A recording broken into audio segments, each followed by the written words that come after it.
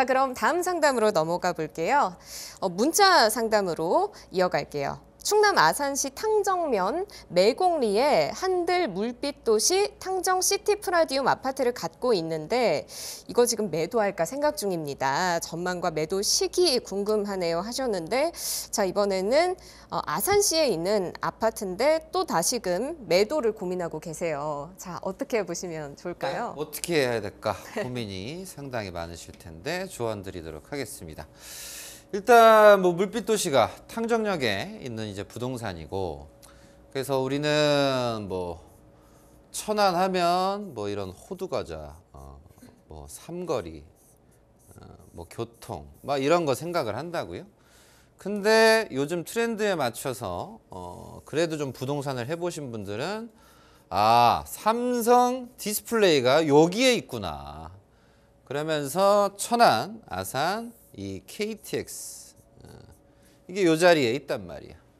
그래서 기본적으로 천안이 아산이 어찌 보면 뭐 온양온천이 더 익숙하신 분들도 계실 텐데 KTX와 삼성이 이 천안 아산에 습격을 하게 되면서 여기가 좋아졌다. 그래서 원래 기본적으로도 천안이 활성화된 동네인데 이런 교통과 일자리가 들어오면서 좋아졌다. 그래서 부동산에서 교통 일자리 좀 중요한 부분이고 이제 그 와중에서 이 시청자님들께서 주목을 하셔야 되는 게 KTX가 이제 여기 있고 여기에 이제 일자리가 있다. 그래서 이 일자리와 그리고 교통이 좋은 곳이 만나니까 이 사이에 있는 부동산들이 꽤 매력적이다라는 거예요.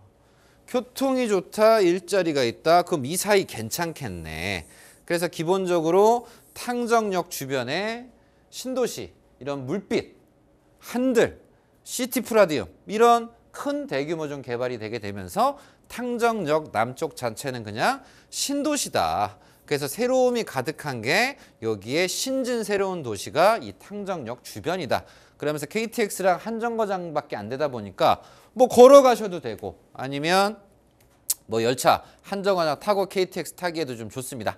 그래서 탕정역 남쪽도 개발하고 지금 탕정역 북쪽도 이런 도시 개발들이 또 진행이 되고 있어요. 그래서 이런 일자리와 교통이 좋은 것들은 개발이 된다. 그래서 부동산은 위치를 보시라고 하는 거고 더불어서 이런 천안 어, 이런 뭐 GTX 호재 또한도 역시 지금 진행이 BC 노선 자체가 또 착공과 이슈들이 좀 같이 동반이 되게 되면서 천안역 주변이라든가 아니면 뭐 북쪽의 성성, 뭐 호수, 아파트 그래서 기본적으로 이 천안에서도 아산에서도 괜찮은 지역들은 좀 정해져 있다. 근데 그 중에서도 창정역 요 부동산 또한도 역시 다른 천안의 구도심, 아산의 구도심보다는 회복사가 빠르고 살기 좋고 거주하기 좋다.